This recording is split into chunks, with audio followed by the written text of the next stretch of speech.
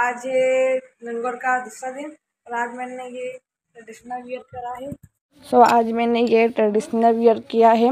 ऊपर pink suit है नीचे पैंट है और दुपट्टा है। ये एक्चुअली में दीदी का है मेरा नहीं है कि मैं ये सूट पहनती नहीं हूँ।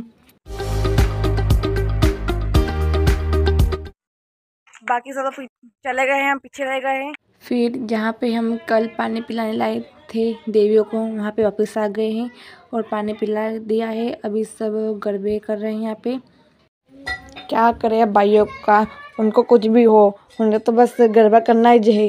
क्या पता क्या मिलता है गरबा करके उन्हें। गरबे करेंगे भी, लेकिन बस एक ही स्टेप ये वाली इधर से उधर, इधर से उधर, बस। मैं नई स्टेप तो करती नहीं। लाइन में लगने के लिए भी पड़ता है। जगह नहीं मिलती फिर।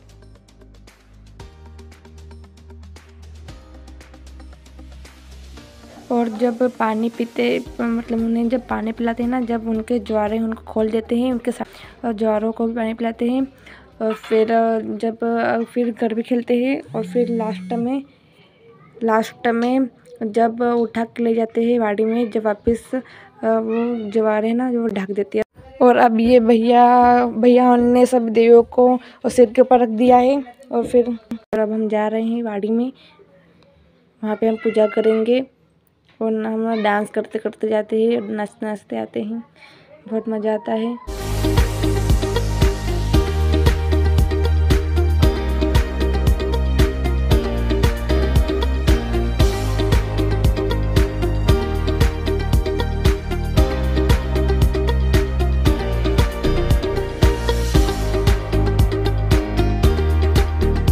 ग्राम पंचायत से वाड़ी मतलब दूर है, इतनी दूर भी नहीं है, बाकी दूर है तो पैदल जाते हैं हम।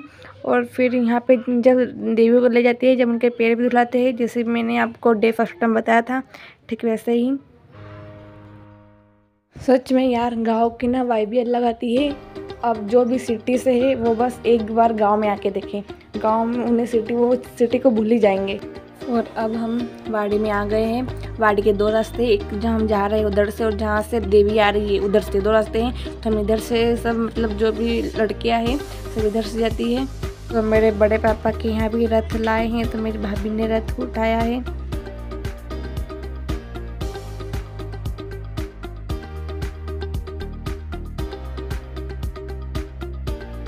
और यहाँ पे वाड़ी में दो, दोनों की देवियाँ रहती है, पाटीदारों की भी रहती है और राजपूतों की भी रहती है। सो मैं आपको दोनों की बताऊँगी, ठीक है? गाँव में त्यौहार मनाने का अलग ही मज़ा है। चाहे वो होली हो, दशहरा हो, और दशहरे पे तो हमारे बंडेरा में जो दशहरा बनता है, कसम से इतना अच्छा दशहरा मतलब हमारे इधर से तो कहीं पे नहीं बनता होगा। एमपी में। मैं आपको बताऊँगी दशहरा का वो लोग आपको ज़रूर दिखाऊँगी।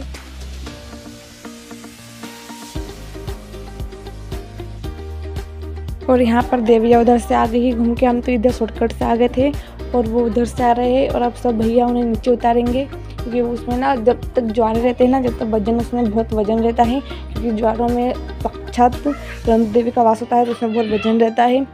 और जब ज्वारे हम खमा देते हैं, जब वो पूरे हल्के हो जाते हैं यहाँ पे देवियों को नीचे रख रहे हैं और फिर हम इनकी पूजा करेंगे। और यहाँ पे सभी जो भी मतलब जिनके रथ नहीं है, वो साइड साइड बातें कर रहे हैं। कोई फ़ोटो खींच रहा है। और यहाँ पर ना चारों ओर हरियाली हरियाली है। यहाँ यहाँ पर गिलकी के पेड़ लगे हैं।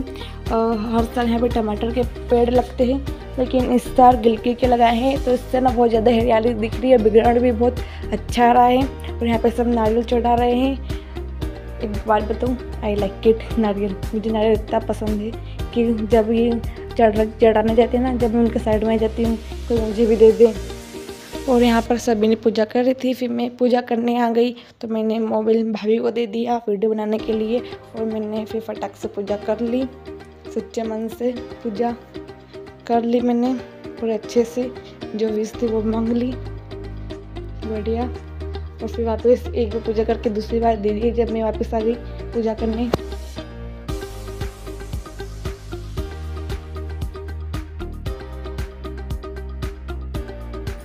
और फिर यहाँ पे सभी ने पूजा कर ली थी और फिर सभी आरती आरती ले रहे थे और देवी को भी दे रहे थे, जिससे कि उनकी नज़र नहीं लगे।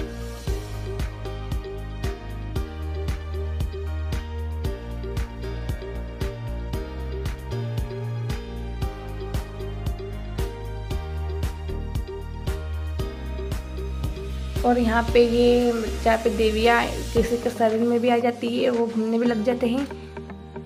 मतलब ये है, किसी के भी अंदर देवी का वास आ जाता है और वो मतलब देवी की तरह हो जाता है। और यहाँ पर भी एक बार फिर से पानी पिलाते हैं देवियों को और फिर आरती करते हैं।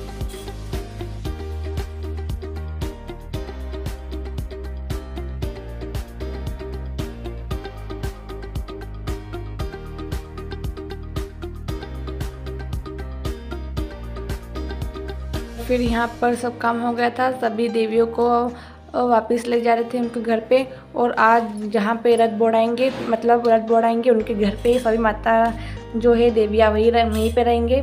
पूरी रात वहीं पे सभी औरतें जाएँगी और गाना गाएँगी, तमोल लेने जाएँगे मतलब तो वहीं पे नाचेंगे, गाएँगे, खाएँगे।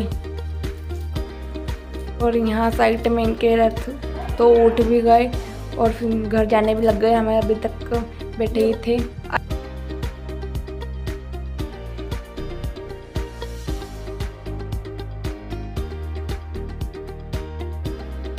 और यहाँ पे मस्त डीजे में लाइटिंग थी डीजे बज रहे थे और हम नाचते नाचते मस्त जा रहे थे। ये मेरे भैया भाभी ने भी उठाया था। मतलब इधर जाते हैं ना, वाड़ी में, इधर जब सिंगल उड़ते ही जाती है। उधर से जब आते हैं ना, जब जोड़े से आते हैं, सो मेरे बड़े पापा की लड़की लड़की और बहू है, वो उठा के लाए थे।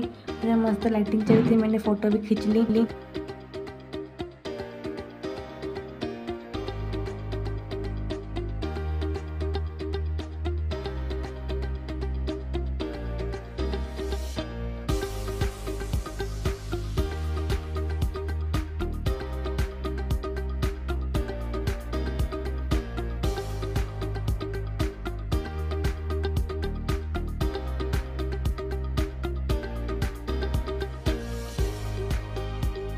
और हम फिर पूरे गाँव में से घूम के आते हैं।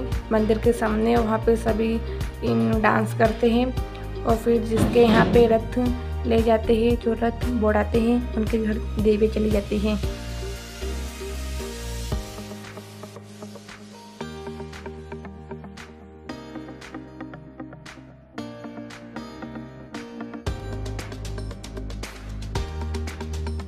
और अब हम मंदिर के सामने आ गए हैं। ये हमारा राम मंदिर है और यहाँ पे सब डांस कर रहे हैं। ये लड़की गंगौर के दूसरे दिन हम हमारे की भाजी और रोटी बनाते हैं। ऐसा कहते हैं कि दूसरे दिन रानू देवी का मांडवा लगता है, इसलिए हम हमारे की भाजी बना अब बात आती है तीसरे दिन की। तीसरे दिन को ऐसा कुछ हुआ जिससे मैं भी शोक हो गई। आपको देखना है क्या हुआ? तो मिलते हैं नेक्स्ट व्लॉग में। Take care